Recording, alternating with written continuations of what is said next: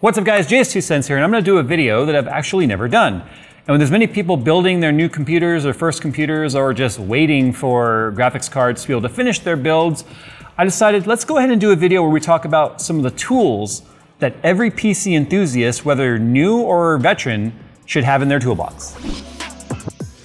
Today's video is sponsored by iFixit, and iFixit's Father's Day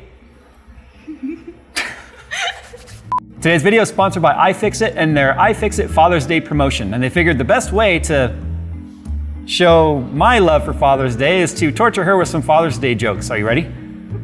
How does Darth Vader take his toast? No. On the dark side.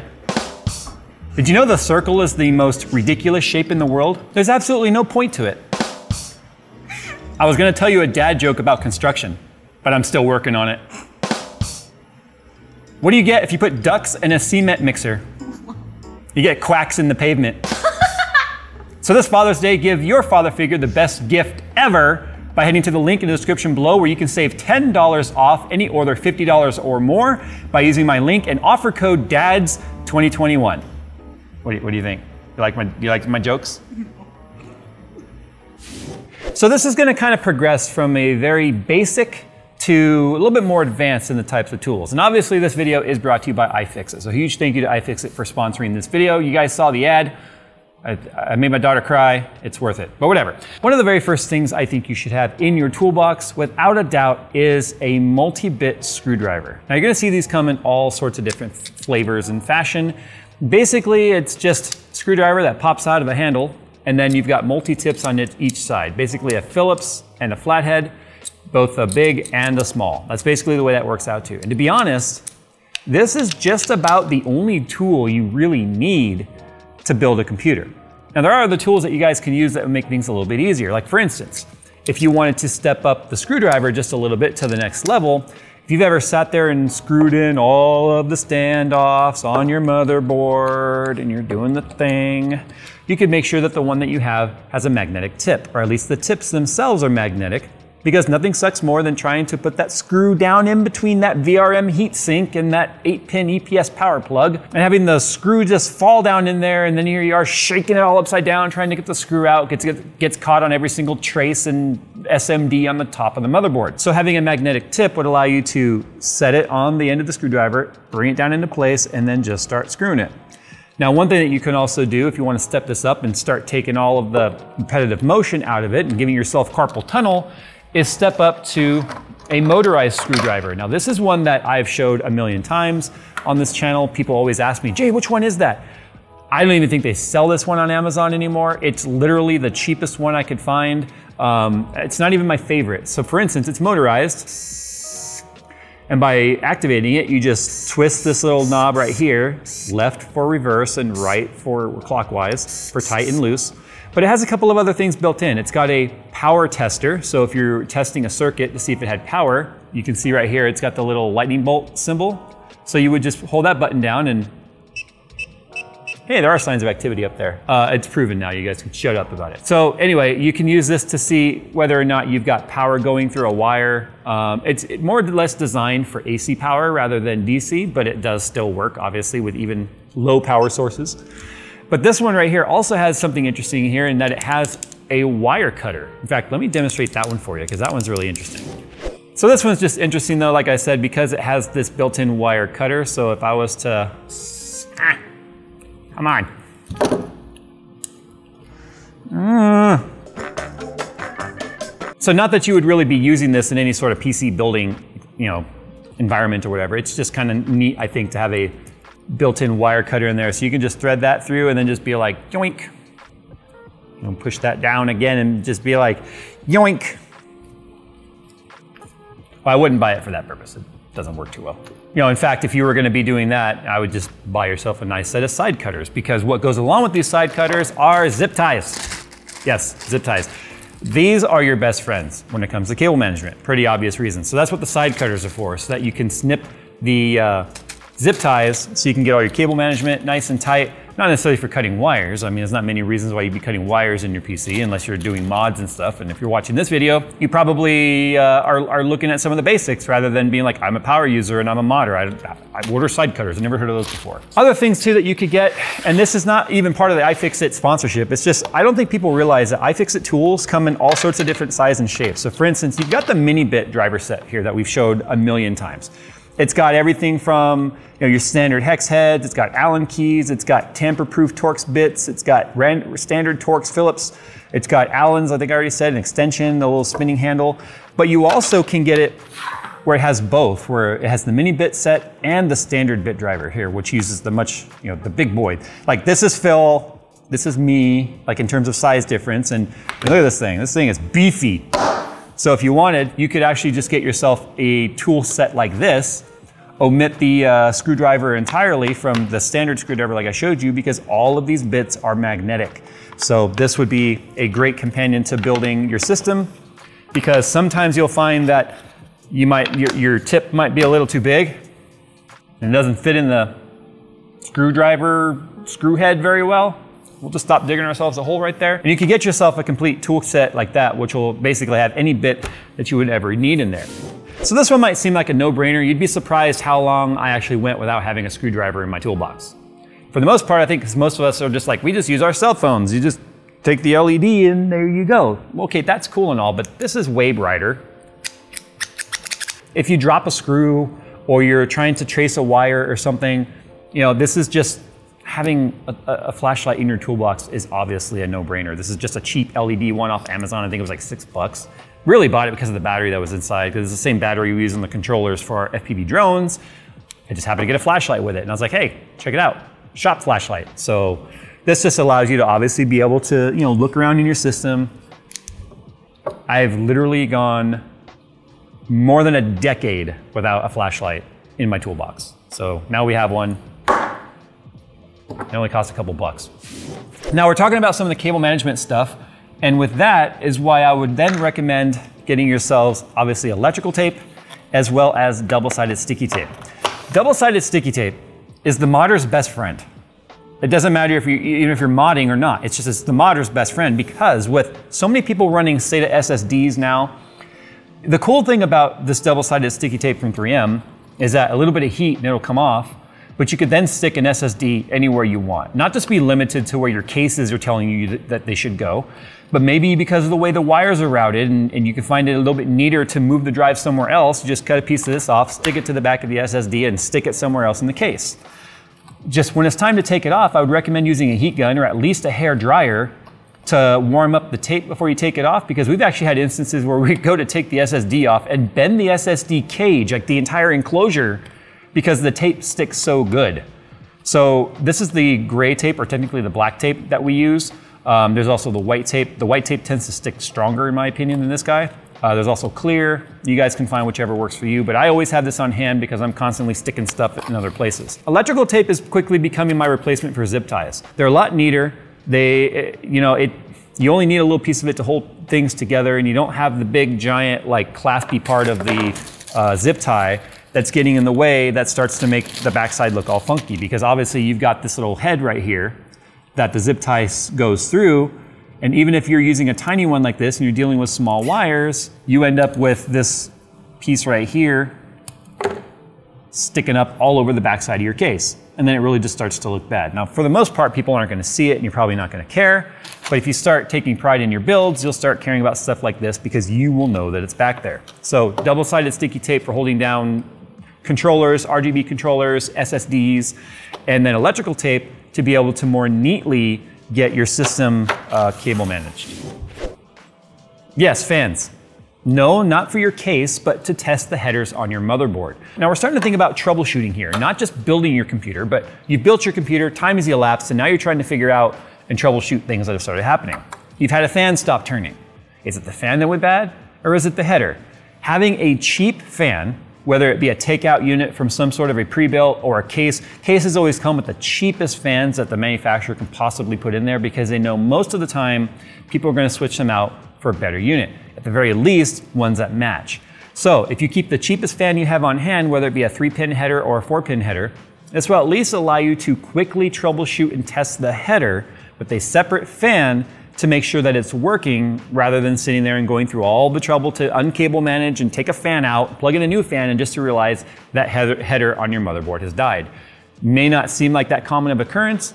It's happened common enough for me anyway in the last you know 30 years that I've been building computers. So it's kind of nice to be able to have this on hand, just in the toolbox, pop it out, put it on the header, make sure it works. Also too, you can use this to make sure your header speed controller is working.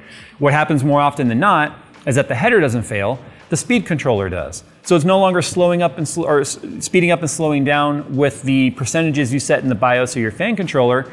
And when that starts to happen by default, the fan will either shut off entirely because the header stops working, or it just defaults to 12 volts and you get full speed all the time. This is just a basic SanDisk thumb drive. It gives you a way to easily download drivers, BIOS, firmwares, software, because more often than not, if you're troubleshooting a system, you might need to go and grab drivers or software off of a working computer, or one that's at least connected to the internet, to get yourself up and running. One of the quickest ways to troubleshoot a system that's acting weird is to update the firmware or the BIOS on the motherboard. And to do that, you need a USB drive. Nothing sucks more than hunting all around through your drawers, your drawers, not your underwear, or your kitchen cabinet or your junk drawer to try and find a USB stick so that you can get your drivers and stuff updated. And then not knowing what's on that USB stick and then it just turns into a big old hassle. So having one dedicated to that specific purpose should always be in your toolbox. They are so inexpensive now on Amazon that there's no reason you shouldn't have at least like an eight gigabyte version in your drawer or in your toolbox or wherever, wherever you keep your PC building tools so that you always have the latest software available. Now we're gonna move on to a little bit more advanced testing here or advanced tools. This is, most of this we're showing you is completely optional. I'll be honest, this is truly all you need to build your computer. But now we're talking about making the job a little bit easier. And now you've built your computer and you want to start troubleshooting it. And I already talked about the fan, the fan being a great way to test headers. But now let's say you're having a computer that won't turn on. You're pushing power and nothing's happening. Having a basic multimeter or a voltage tester, whatever you want to call it, they sure they can get really expensive. You get into like Fluke and some of the more um, commercial grade stuff, but you can get an inexpensive multimeter or mul multimeter, depending on where you live. Uh, inexpensive at like Harbor Freight, any sort of hardware store. You don't have to have an expensive digital one. It can even just be one with the needle that moves. All you're looking for is power, and it's basic. You've got your ground, and you've got your hot wire. This is for 12 volt testing. Obviously, it can test AC as well. But this would allow you to start checking the different pinouts on your power supply. Because if you want to know if your power supply took a, took a dump, you're going to have to start testing each ground wire, each hot wire, the 3 volt, the 5 volt, the 12 volt. Check it at the 24 pin, check it at the 8 pin. That way you can actually troubleshoot whether or not your power supply or something has taken a dive, where you are uh, going to waste time unplugging things and plugging things in and pulling your hair out when you can go right to the basic testing and say, do we even have power? You can find lots of guides on YouTube on how to use a multimeter, what the different, uh, so you got ohms, you've got volts, you've got AC, you've got uh, continuity, which means it's a circuit completed. You can learn how to use these basic videos on, on YouTube. But usually what you'll find is that they come with different uh, types of probes. So these are already sharpened. This will allow you to poke a wire, so you can poke through the insula insulation without having to shield it or, or, cut it back, which will mean when you pull it out, then the, the insulation will kind of close on itself and then it's not exposed. You can find some too that are even long, like needles. That way you can get in there real deep if you have thick insulation. That way you can at least check uh, stuff going on with your system. Nothing sucks more than troubleshooting power problems without a multimeter. This one right here is gonna serve a few purposes. Blue shop towels, 91% isopropyl alcohol. You can get it up to 99% isopropyl and down as low as like 70%. This is gonna come in so handy the first time you go to swap out your cooler or your CPU. Thermal paste gets everywhere. It gets on your fingers. It gets on your the edges of your CPU. It gets down in your socket. It just gets everywhere. You're you're putting down your nice, perfect grain of rice method of your uh, you know your thermal paste on your CPU, and you lift up the the dropper or whatever the, the applicator is called, and a big string just goes right across everything. Jay. Oh man. The nice thing about isopropyl alcohol, it just dries extremely fast and it's not going to damage anything. You can use this to spray it anywhere. I like to spray when I'm cleaning, and then I like to use the isopropyl when I'm dealing or the uh, squeeze bottle specifically when I'm dealing with CPUs. And then you're going to use the blue shop towels to clean up your mess because these don't really leave any fibers behind. Now, to go along with cleaning, you're going to want to keep yourself protected, so you can get these nitrile gloves and this is perfect when you're putting on thermal paste, cleaning off thermal paste, or just handling components in your, in your system that you don't want to leave finger grease on. If you're going to start getting into like modding your PC or painting your case or whatever, then you're going to want to uh, obviously have gloves on hand. Getting isopropyl alcohol on your skin will dry it out real fast. It turns it white. So use gloves when you're using alcohol and any other solvents.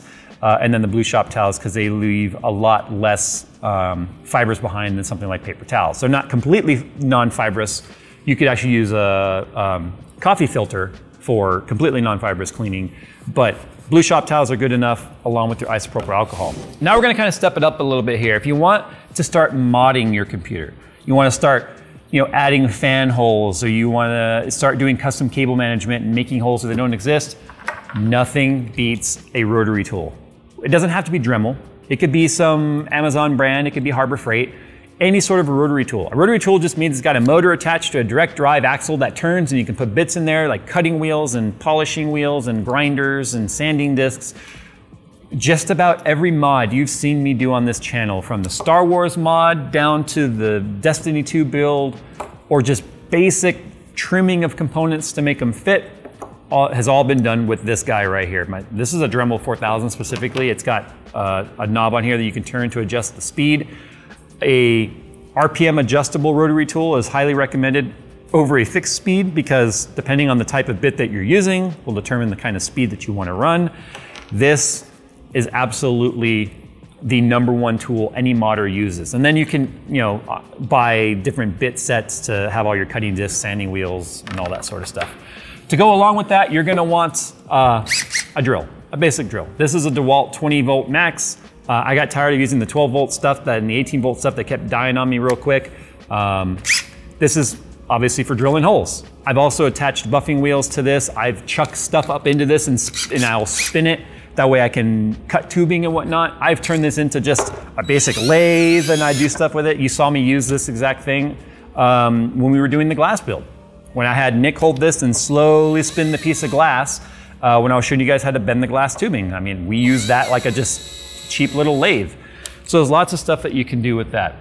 For water cooling, nothing beats a basic squeezy bottle, especially if you're dealing with distro plates these days because they're not large capacity, they're pretty thin.